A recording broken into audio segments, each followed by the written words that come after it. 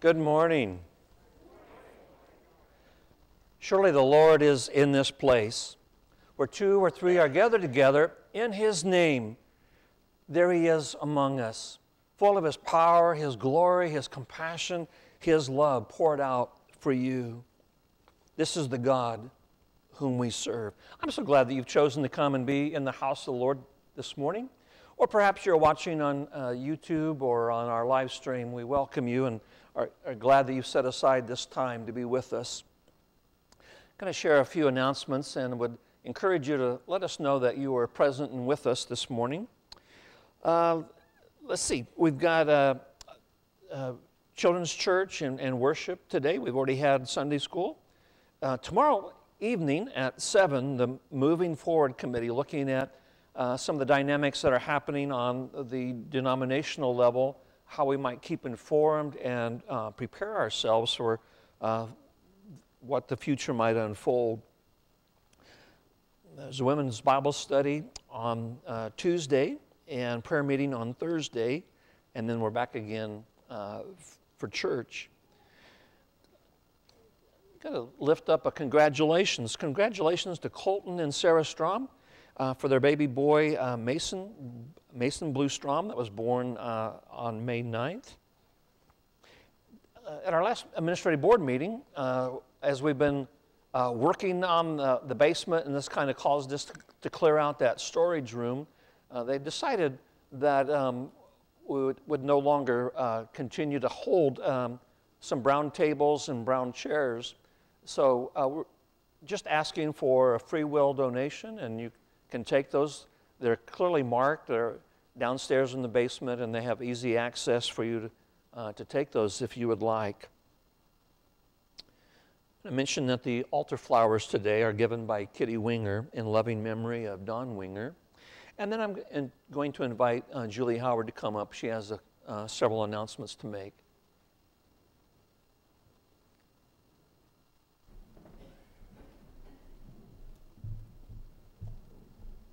Good morning. Good morning. I do have several things um, to get through. Um, the PPR committee has been busy along with um, our council in trying to take care of many things that have come upon us in this time at our church. Uh, first, I want to announce that our custodial position has been filled. Brittany Key has been hired, and she has actually already started.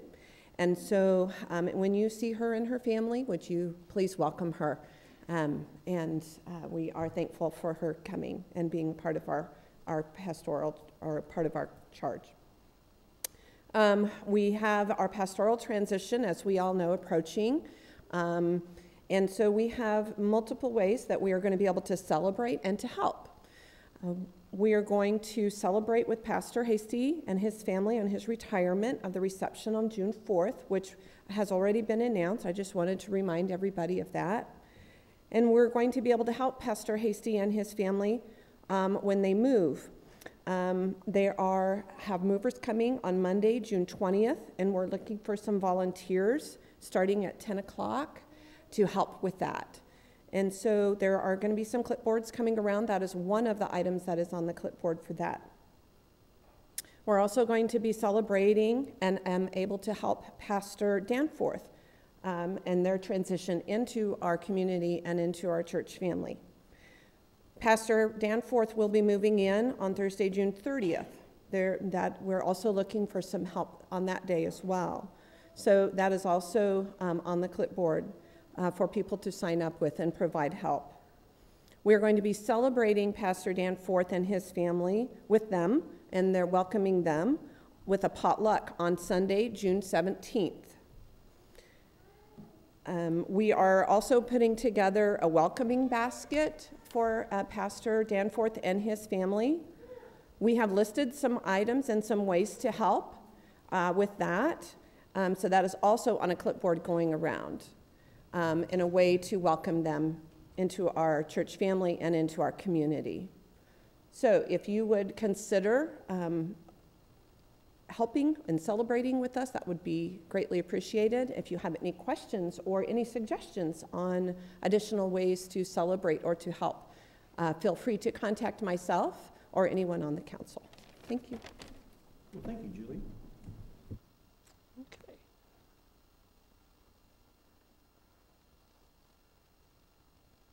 We've been listing uh, some of the same prayer concerns uh, now for a week or two. So, is there anything that needs to be added to the prayer concerns? Anything you would lift up? How about birthdays? Oh, I see in the back.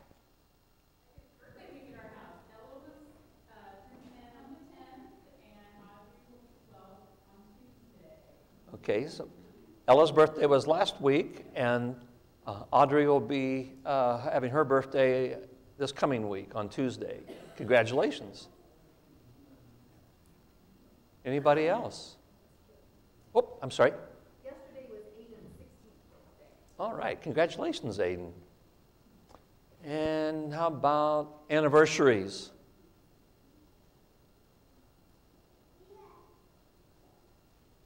Well, let's sing uh, congratulations then.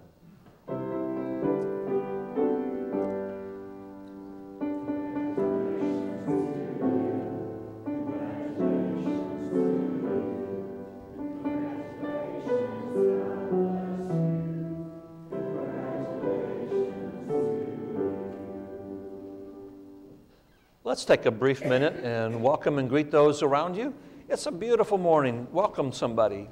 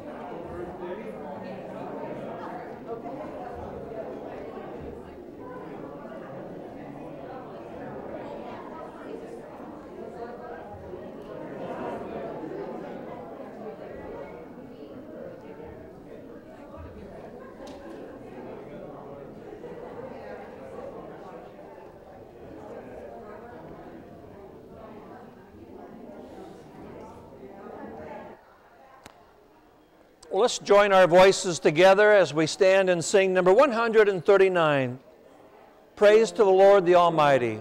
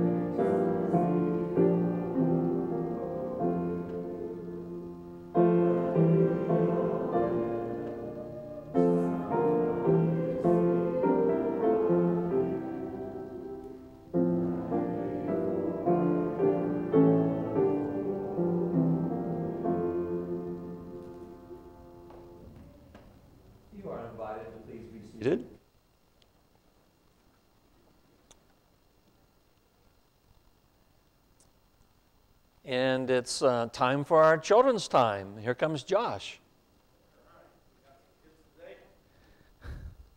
I have some cool stuff that I found. Gotta show you guys.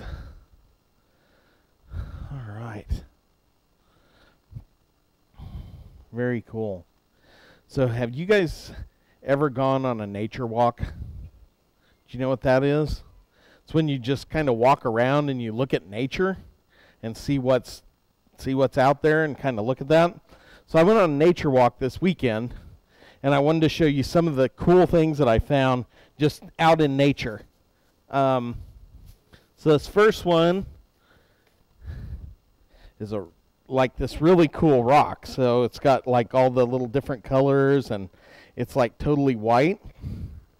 So that's kind of cool, right? Okay. And then I was looking and I saw another rock and this one was kind of neat cuz it has all the swirls in it. And it's got like lines there. That's kind of cool, right? Okay. And then I was walking and there's this place that probably I mean, where I was walking, they probably hasn't been touched in like a million years. Like nobody goes there. Okay? And so I found this other rock, and it looks just like a cat. Isn't that cool? I just, it was laying on the ground. And I found that one. That was kind of cool. And then I was looking for some other stuff, and I found a rock, or I think it's a rock, but it like lights up. Do you guys want to see it? It's really cool. It looks like this. Is like, I mean, it's crazy that it's just this stuff laying around and like the earth compacts it and pounds it into just different types of stuff. There's one, this one actually moves. You see that? It like moves all over the place like that. That's kind of neat, huh? This one's kind of cool. Um, and then uh, this was uh, southwest. Yeah, so, yeah, southwest of town. And this was the coolest find that I've ever seen. Okay, just out in nature, just walking around. I saw this, and this is like so cool. You there's a button and you push it, and it it like a vacuum cleaner. Let me ask you guys something. Um, do you believe that uh, that I found that stuff in nature? What? Why would? That, okay, that's like seriously. I totally just was walking around and nobody touched that, and and this stuff just appeared. You guys don't believe that? Why wonder why? What? Okay. Let's just take the easiest one. This one. Okay, that's just a rock. I mean, right?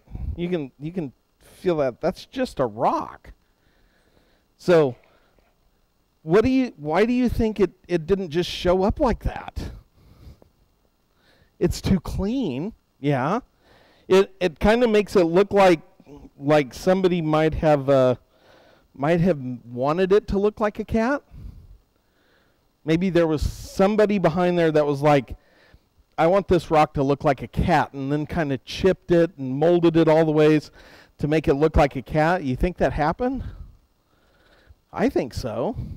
And so the funny thing is, so there's a lot of people that think, I know you're not going to believe this, but there's a lot of people that think that the universe just decided there should be people.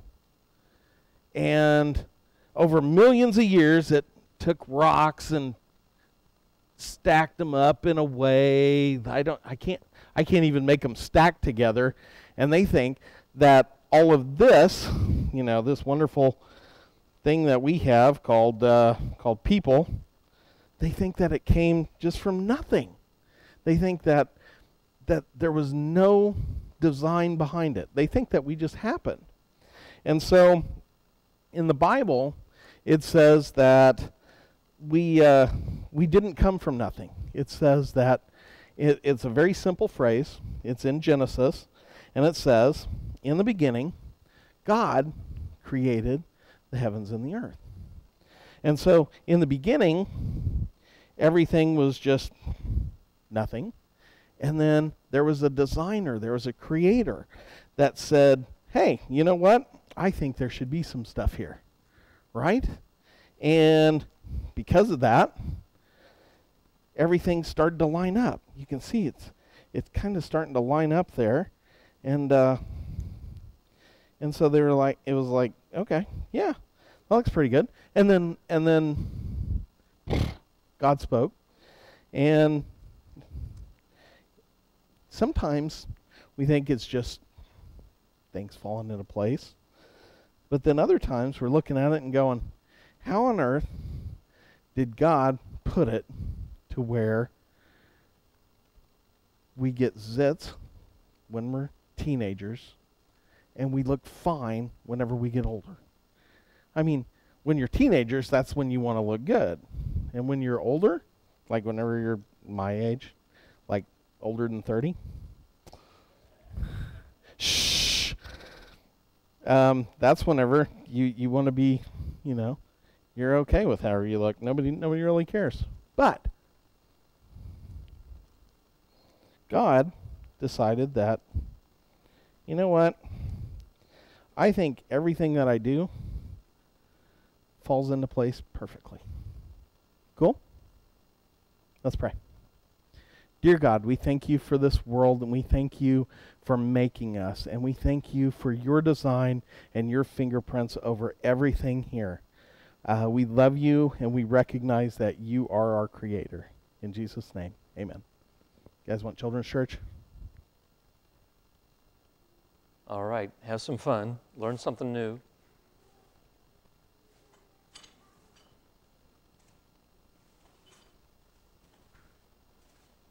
Thanks, Josh.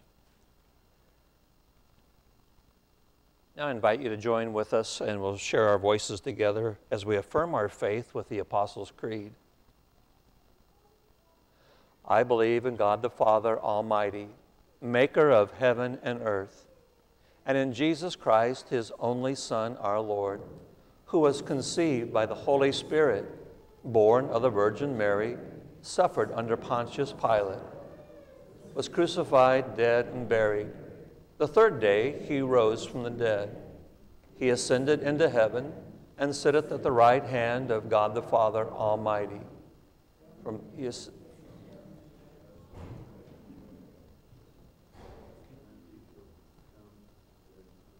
I believe in the Holy Spirit, the Holy Catholic Church, the communion of saints, the forgiveness of sins, the resurrection of the body, and the life everlasting. Amen. I apologize for the mix up on the slide that I made there. Let's uh, sing What a Friend We Have in Jesus.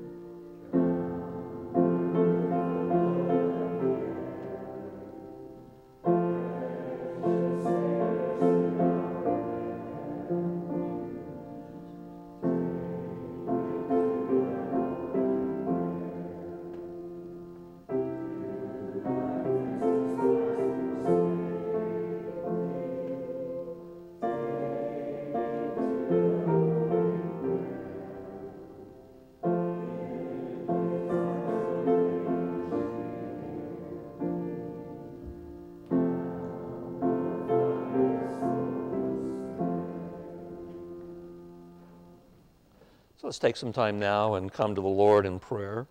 We'll lift up our concerns and let the Spirit lead us. In a few moments, then, I'll lead us in a prayer.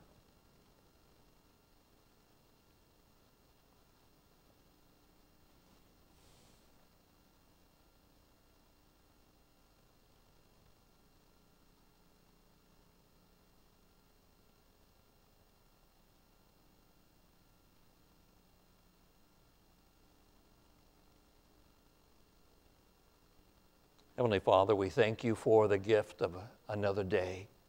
Thank you that we woke and found that your mercies are new each morning. Lord, you watch over us and you shower us with your grace and with your peace. We thank you for what a wonderful and beautiful rain shower. You care for your children so much that you know our needs before we ask. Lord, we just want to pause and just give you thanks, to praise you for you are God. There is no other. There's no one else that has the words of life, who creates in our hearts a, a hope and a plan for a better tomorrow. Oh Lord, we praise you. Praise you for the abundance of your faithfulness your insight and wisdom.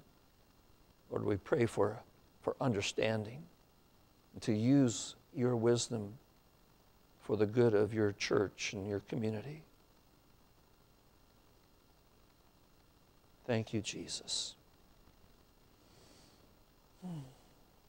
Remind us, Lord, that your thoughts are higher than our thoughts, that your ways are different than our ways you are quick to forgive and to pardon our sin. And so, Lord, we would praise you. Because we know in our own spirits we want to hold on to a grudge or we're reluctant to confess our sins. But now's our opportunity to bend our knees and to humble ourselves and come to you. Lord, we confess that we have an overwhelming need to, for you to cleanse us, to forgive us, and to restore us. Lord, thank you for all that Jesus has done. To take us from death and our trespasses to new life and to the promise of resurrection. Lord, we praise you. Thank you that you're with us always. Josh's time with the children reminded me that we are fearfully and wonderfully made. You are the giver of life, the creator of all things, the conqueror of death. You hold our future in your hands. And because you do, we have no need to fear. Lord, you're amazing. We can come to you with our needs. We can pour out our hearts to you. And you listen. And you show that you care. And you touch our lives. When we draw close to you, you reveal to us your peace. Remind us of the, the strength and the joy that comes in our salvation. Oh Lord, you are amazing. There is none like you. Or today we would pray that you would put your hand of healing on those who need physical healing. Touch those who need mental and emotional healing. And strengthen those who would come to you and ask for spiritual healing the power to overcome some obstacle, some sin in their life that they've been burdened with. Oh, thank you, God. Thank you, Lord.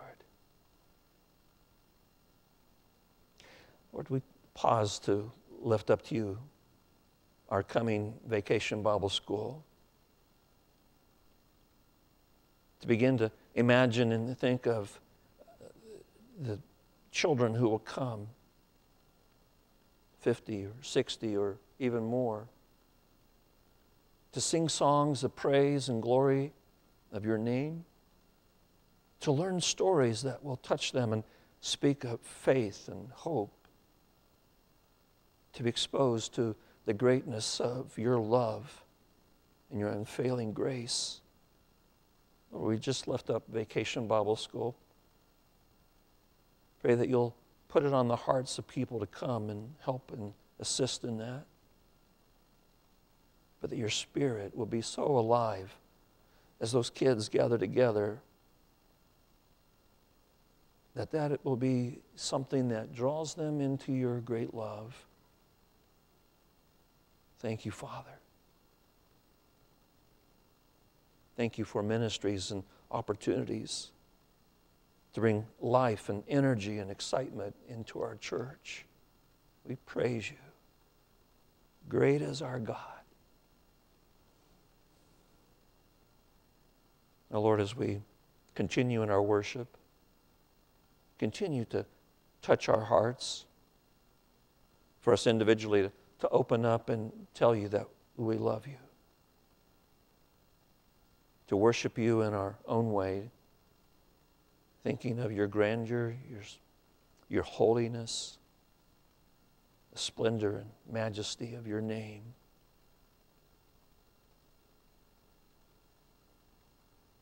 You are Emmanuel, the God who is always with us. For nothing shall separate us from your great love. And so it's in the power of the name of Jesus that we pray. Amen. Join with me now. Let us share together our Lord's Prayer. Our Father, who art in heaven, hallowed be thy name. Thy kingdom come, thy will be done, on earth as it is in heaven. Give us this day our daily bread, and forgive us our trespasses, as we forgive those who trespass against us. And lead us not into temptation but deliver us from evil. For thine is the kingdom and the power and the glory forever. Amen. Well, I believe I'm back on the bulletin again now, and uh, let's go to giving our tithes and offerings as we invite the ushers to come forward.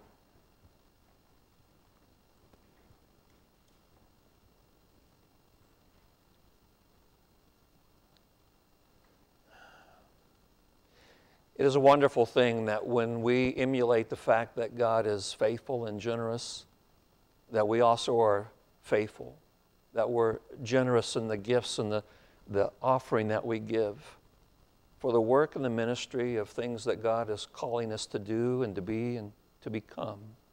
So receive now our prayer of dedication. What is it that we lack in Christ? Do we lack the courage to trust completely in you? Invite us as you have invited others to test your trustworthiness.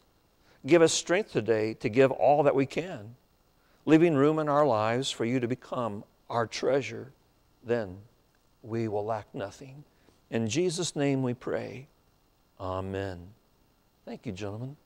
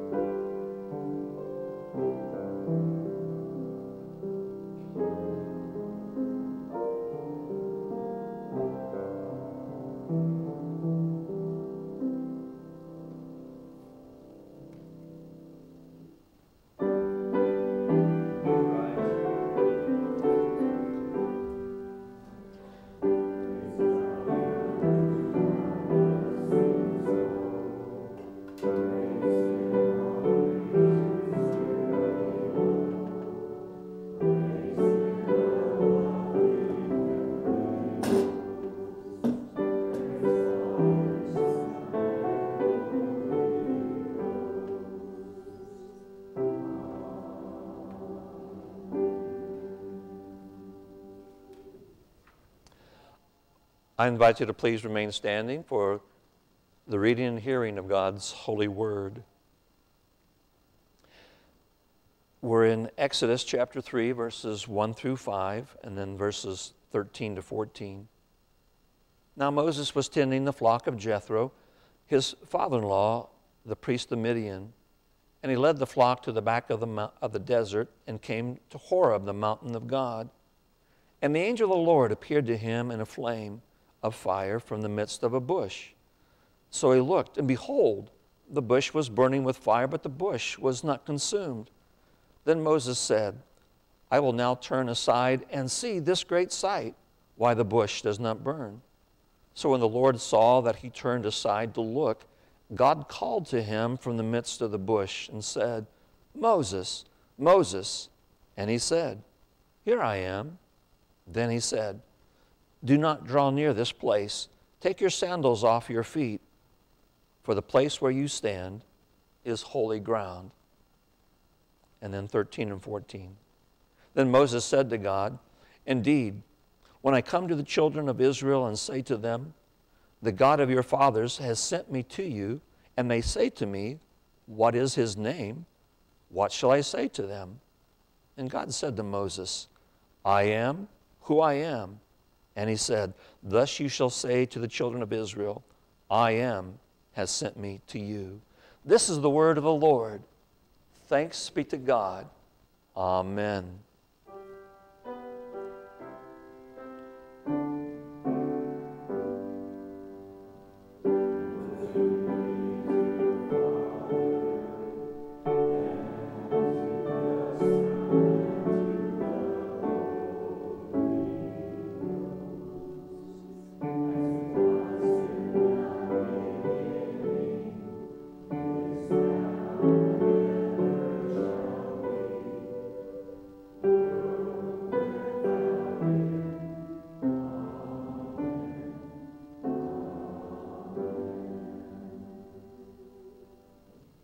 Once again, I invite you to please be seated.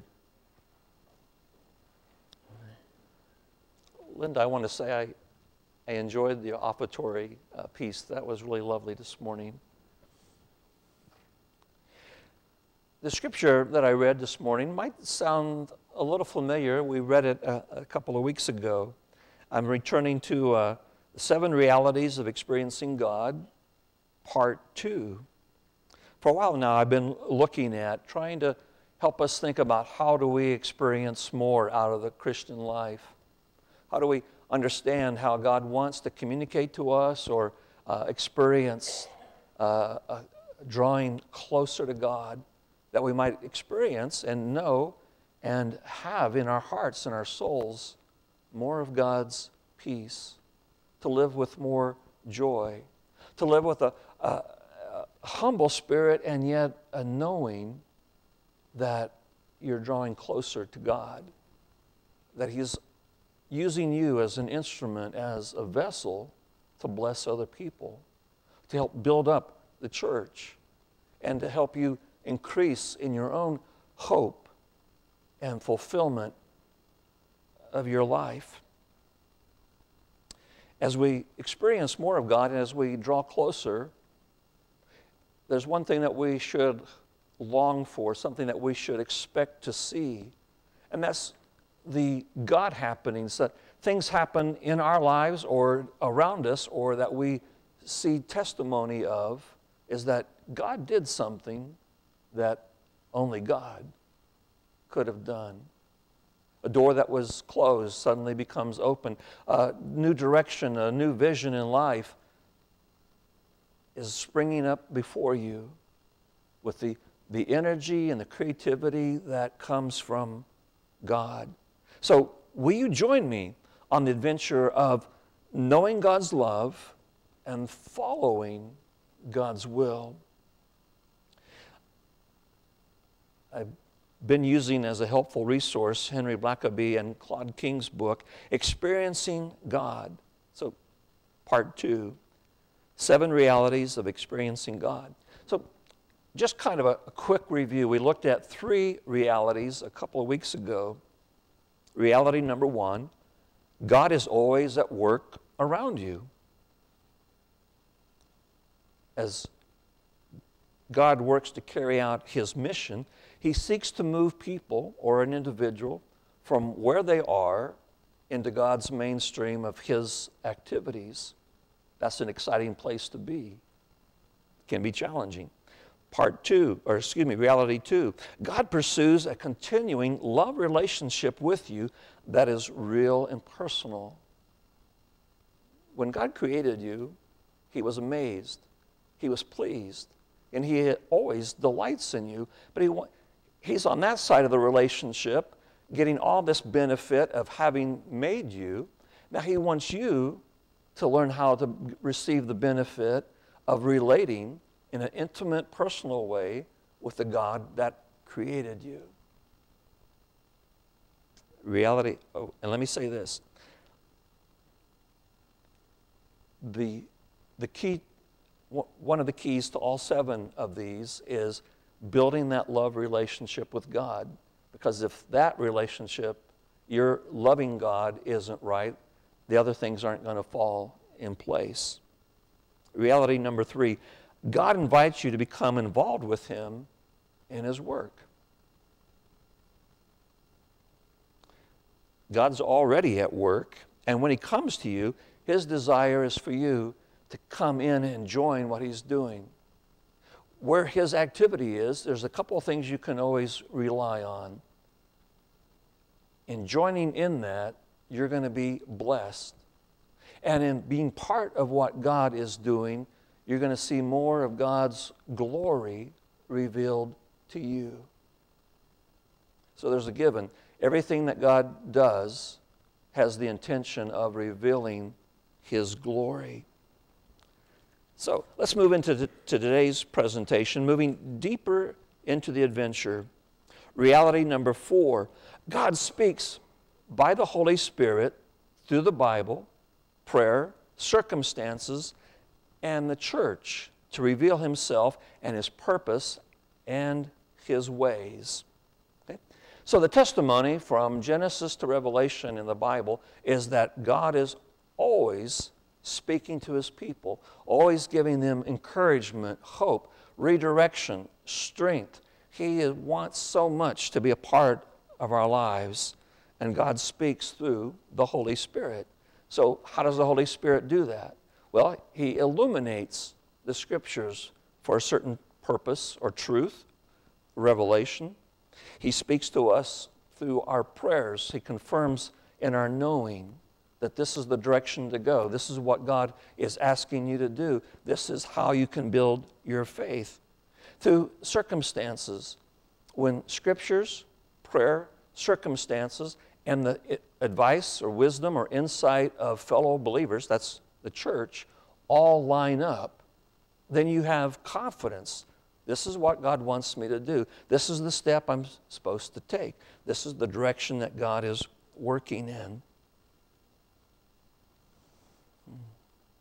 So God is going to be revealing him, Himself to you so that you can trust Him, so that your faith will grow. He wants to reveal His purposes so that you'll be more involved in His work.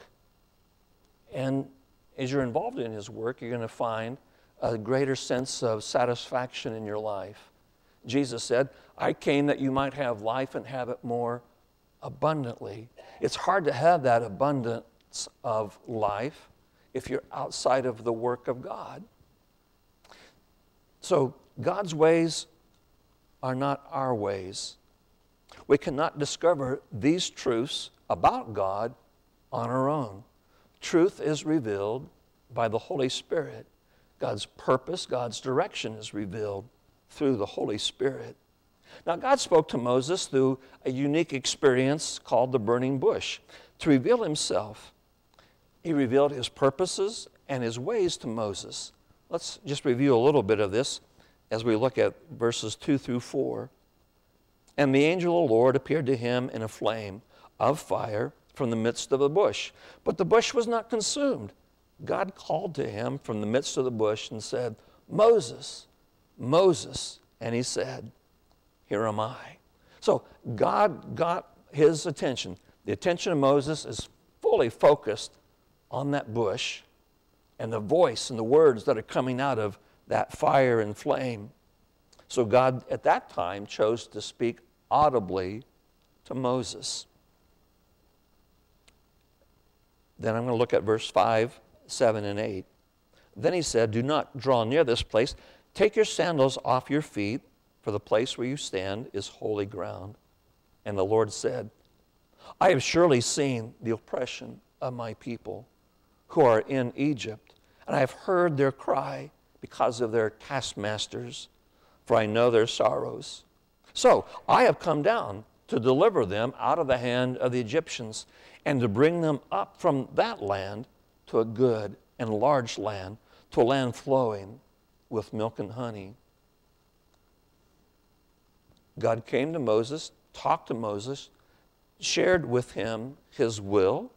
He wanted Moses to be his representative, to go to Egypt, to speak of delivering his people and confront Pharaoh. So God revealed to Moses his holiness, his mercy, his power, his name, and his purpose to keep his promise made to Abraham that Abraham's descendants would live in the land of Israel or in the promised land. When God spoke through the burning bush, Moses knew it was God, knew what God said, and knew what his response needed to be in order to please God, in order to fulfill God's call on his life. So, reality number five God's invitation for you to work with Him always leads you to a crisis of belief that requires faith and action. Now, please don't be surprised by this, but think about it. God very much wanted to reveal Himself to a watching world. He does not call you or me to get involved just so people can see what you are up to. He calls people to an assignment that they cannot do on their own. So the assignment will have a God sized dimension to it, something that only God could accomplish. When God asks you to do something that you cannot do on your own, typically we have a moment of crisis which will reveal what do we really believe about God? Do we believe what he says? Do we believe in his power? Do we believe in his love? Do we believe in the promise that I'm with you always? Or choose any scripture that you want. Do you believe it? Is it more than just what you say, but does it resonate in your heart and in your soul?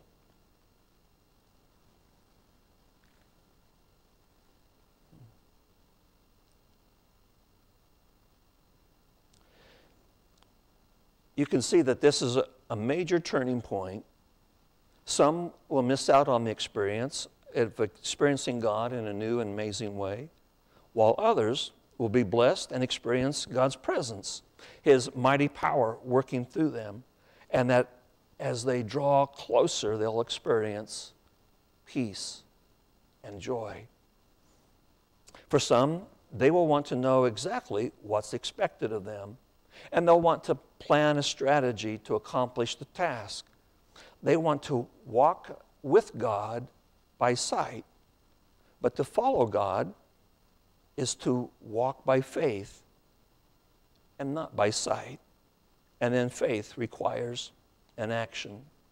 In a moment, I'm going to have uh, the tech people show a film clip from uh, Indiana Jones and the Last Crusade. It's a film clip called The Leap of Faith. So you got Indiana Jones. Um, this is um, back in the 1940s. He's an archaeologist, he's a treasure hunter, he's a professor, he's an adventurer. He's on a quest to find the Holy Grail. His dad has gotten involved in this quest actually before he did. And uh, his dad's been shot and it's a time where it, Indy, Indiana, has to follow some directions that were written down in a notebook that his dad had. And if he follows those, he'll find the Holy Grail and he can save his dad's life. So here's a, a moment of faith.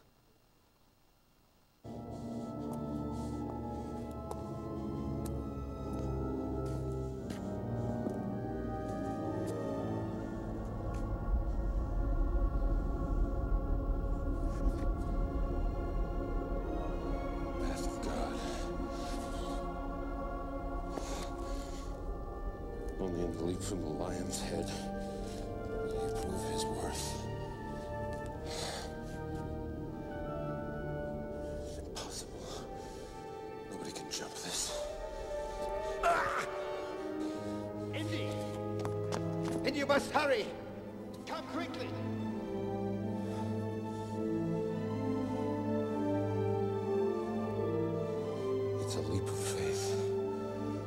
Out. You must believe, boy. You must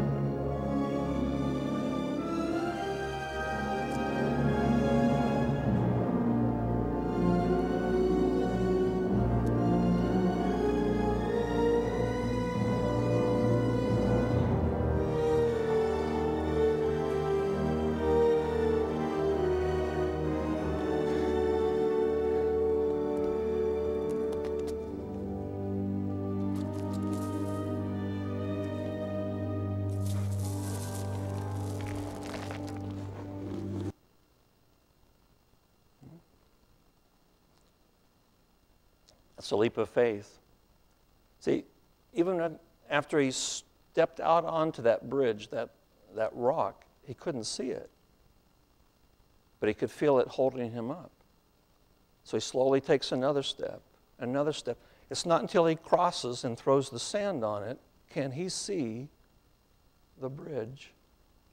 Sometimes, as we walk in faith with God, we can't see the first step. That's why we take prayer and say, Lord, are all these things lining up? Convince me. Let, let me know for sure this is what you want me to do. But it takes action then. God has set everything up for you. He's promised to equip you and to give you everything you need to accomplish this task as long as you continue to keep your eyes on Him and step forward. Now, would have cost him his life if the bridge wasn't there. Or if he didn't, if he just stayed there and waited and waited for something to happen, his dad dies. I don't know what God's calling you to right now, but it's going to involve a step of faith. Now, Moses had his moment of crisis in his belief. God's called him to these things, and here's some of his responses. Some of that identity or that acknowledgement that there was a crisis going on inside. Chapter 3, verse 11.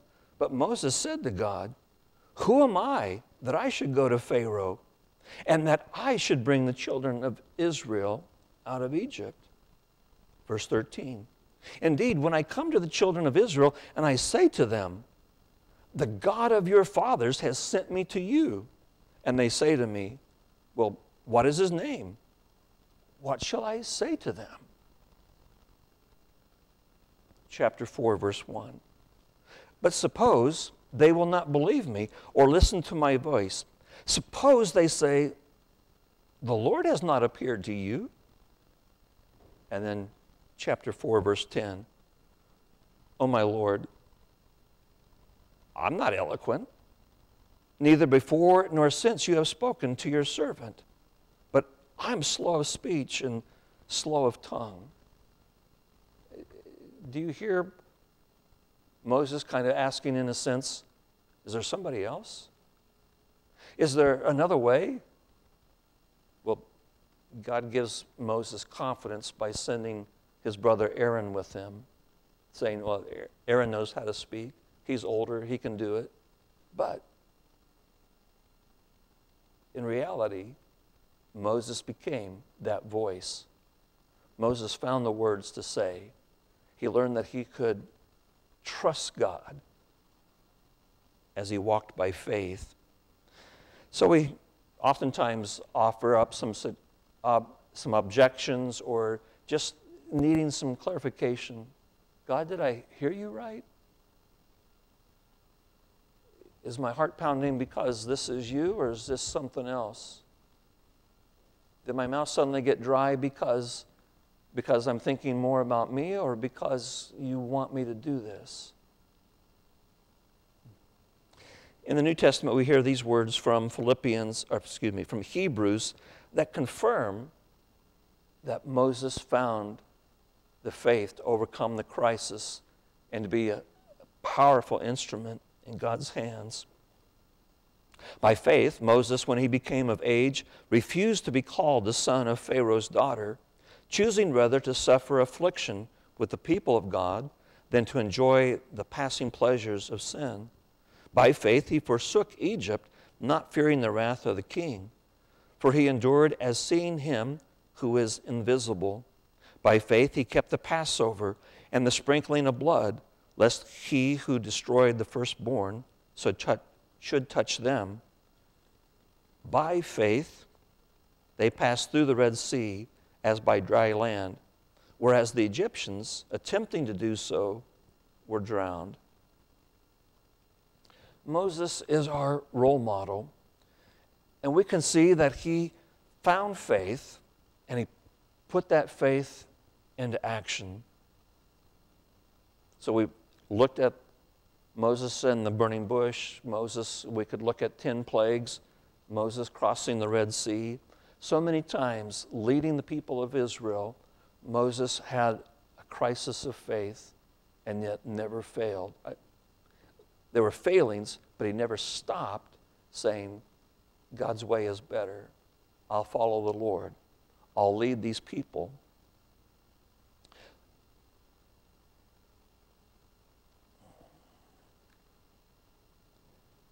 Next week, we're going to look at two more realities to bring it all to conclusion and put all the pieces together.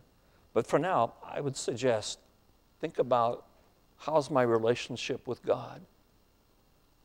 Am I making time for God? Do I approach God's Word with an open mind and with a, a desire to trust it and to believe it? Am I putting myself in the hands of the Lord and saying, let me be your servant. Use me as you would.